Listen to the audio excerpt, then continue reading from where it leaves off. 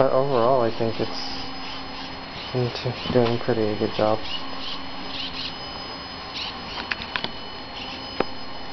Oh, oh.